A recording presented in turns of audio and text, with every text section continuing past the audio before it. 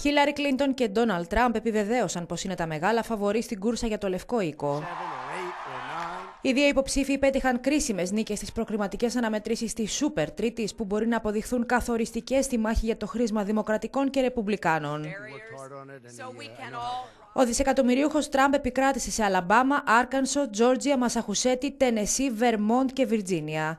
Ο υπερσυντηρητικός Τέντ Κρούς πήρε την Οκλαχώμα, το Τέξας και την Αλάσκα και ο Μάρκ Ρούμπιο τη Μινεσότα.